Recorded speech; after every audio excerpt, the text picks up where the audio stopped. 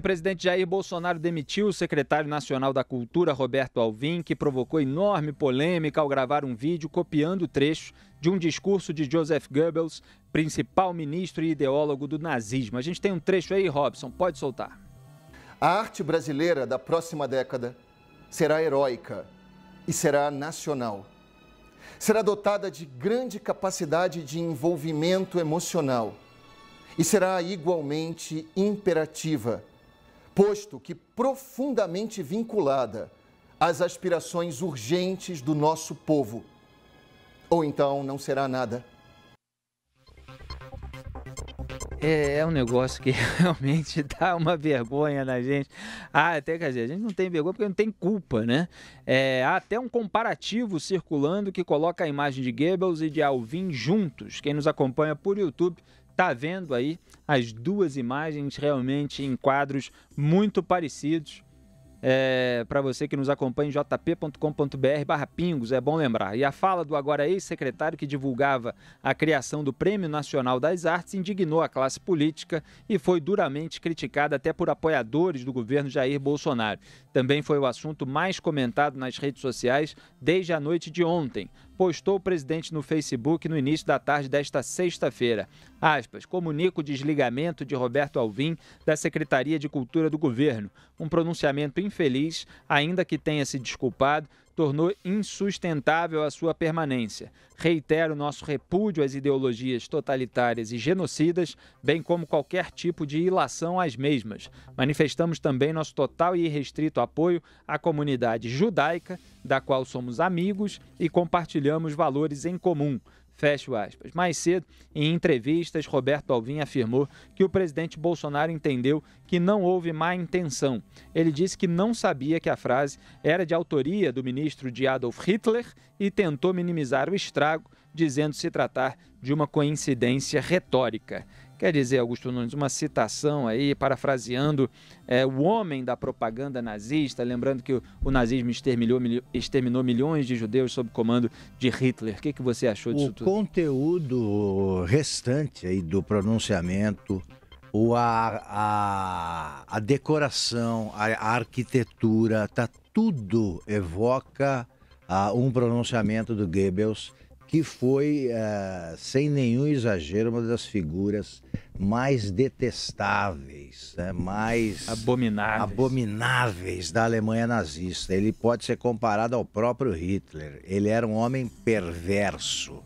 Né? Ele, ele subvertia o significado das frases, ele usava aquela, aquele, aquela paisagem da grandeza da Alemanha, né? com tochas, ele foi inventor de tudo. O Alvin passou, ultrapassou todos os limites e tinha sim de ser substituído imediatamente. Porque aí você, um presidente da República não tem que se preocupar se quem está pressionando é a oposição, é isso e aquilo. Não, é, são os homens de bem que estão inconformados e eles devem ser atendidos. Não é possível tolerar isso aí. E se ele disse que é, falou, repetiu a frase por engano, pior ainda. Então não tem cultura nenhuma. Essa frase é famosa. Ele disse, é, é, repetiu outros trechos de falas do Goebbels também. Então ele não sabe disso e repete a coreografia. Mas não pode. Nas duas hipóteses, ele merece, merecia demissão imediata e que bom que o presidente Bolsonaro atendeu as pressões. Isso aí não diminui nenhum governo, engrandece. É um reconhecimento de erro aí que tem que haver. Quem não faz autocrítica é o PT, como já informou o Lula. Tem que voltar atrás e mudar uma indicação errada, equivocada. O sujeito fez a celebração do nazismo. Não dá. Aliás, tem aqui a frase de Goebbels, que abro aspas, para a gente fazer aqui a comparação é, exata, a arte alemã da próxima década será heróica, será ferre... ferreamente romântica, será objetiva e livre de sentimentalismo, será nacional com grande patos é e igualmente imperativa e vinculante, ou então não será nada.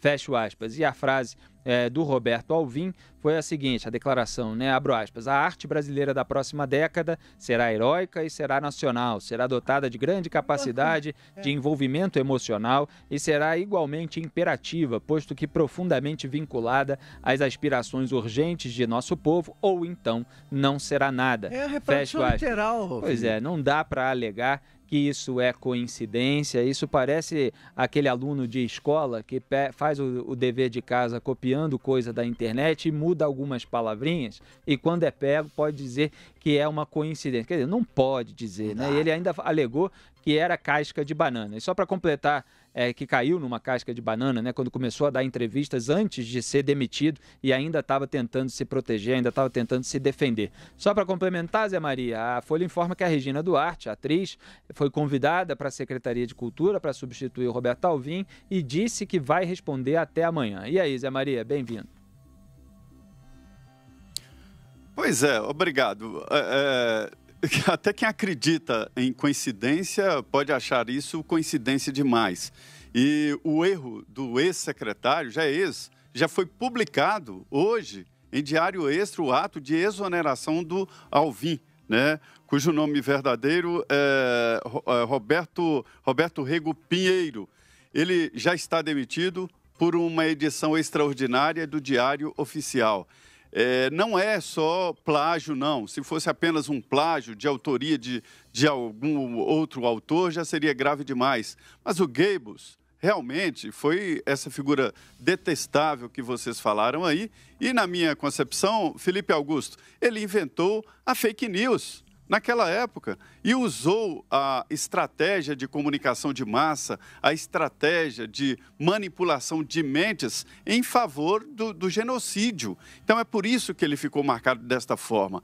O final dele foi trágico também, depois de envenenar os netos com cianureto, ele se suicidou. né, demonstrando uma personalidade maluca, como todos os que fizeram aquele regime, e o presidente Jair Bolsonaro agiu rápido.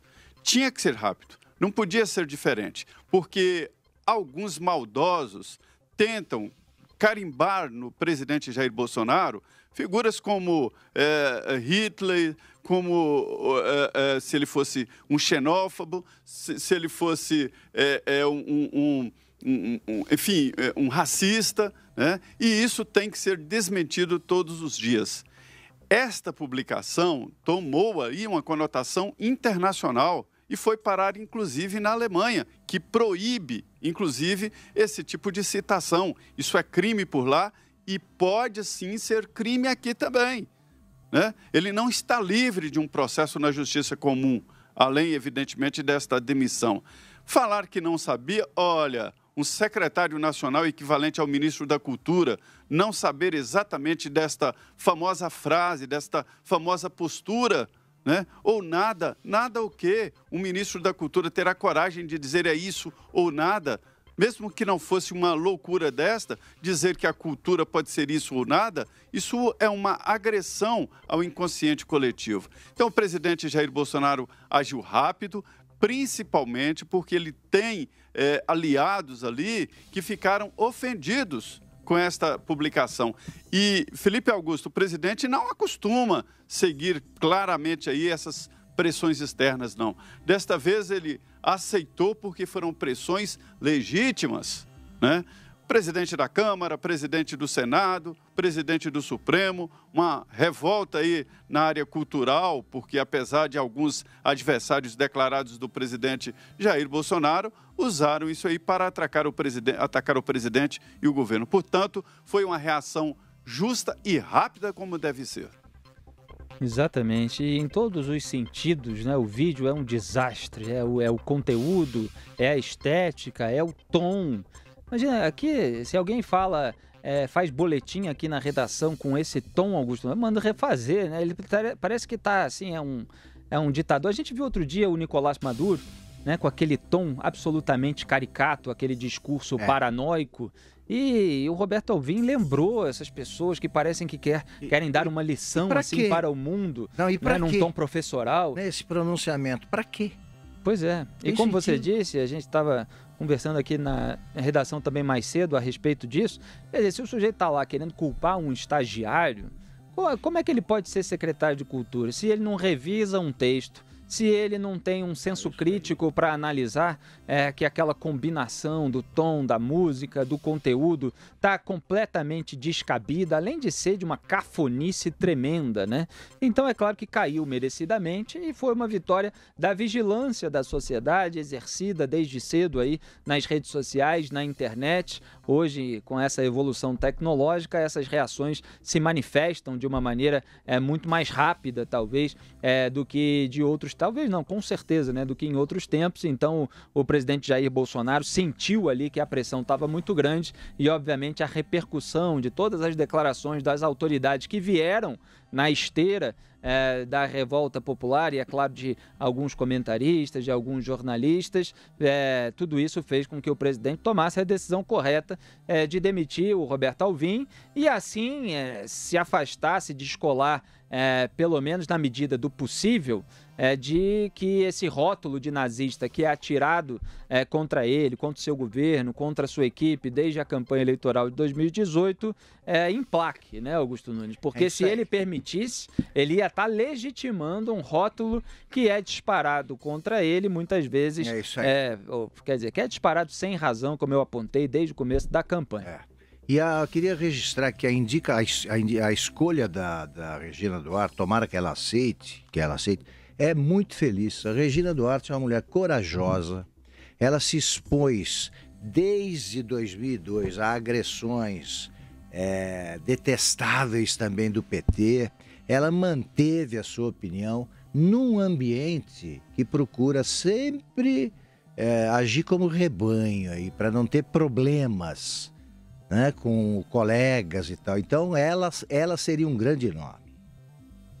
E ela é uma pessoa que teve muito sucesso na sua carreira de atriz. Aqui não vou fazer nenhum juízo de valor sobre a capacidade de gestão, que eu não sei, não sei como é que é, vai ser, mas é, muitas pessoas é, que já são consolidadas, já têm condição, se elas fizerem justamente pelo desejo de melhorar o país, podem ser melhores do que algumas pessoas delirantes e ressentidas que não conseguiram espaço na iniciativa privada e que querem usar a máquina pública é, em seus projetos revolucionários e reacionários. Então espero que entre cada vez mais é, no Estado brasileiro pessoas é, realmente dispostas a ajudar o país, a melhorar o país é, com o pragmatismo necessário é, para que as coisas funcionem e deixem certos delírios é, para as suas é, questões pessoais, para as suas carreiras na iniciativa privada. Zé Maria Trindade, quer complementar? Sim, olha, era só para dizer que o secretário Roberto Alvim era elogiado e prestigiado pelo presidente Jair Bolsonaro. Ele prometeu uma revolução, um pragmatismo nas artes brasileiras e estava precisando, está precisando mesmo. E a, a ida da Regina Duarte para a Secretaria é, da Cultura, que é equivalente ao Ministério, né? deixou de ser o Ministério. Seria bom, porque o governo colocaria um pé importante é, na arte, existe um grupo forte aí com essa mesma ideia da atriz Regina Duarte, e eu sei que seria um sacrifício pessoal não é um cargo bom, é, não é uma, uma situação confortável. Mas com relação à gestão, o, a secretaria tem um corpo ali é, muito importante, muito bom, burocrático, que dá suporte. E o ministro fica apenas, Felipe, ali na retórica, nas inaugurações e, evidentemente, na elaboração de projetos. Mas existe um corpo que dá um suporte muito bom administrativamente. É, logo depois, o presidente já estava procurando, com, na, junto com a Casa Civil ali, nomes e indicações do setor. É importante que o presidente tenha esse pé na cultura, sim, é muito importante.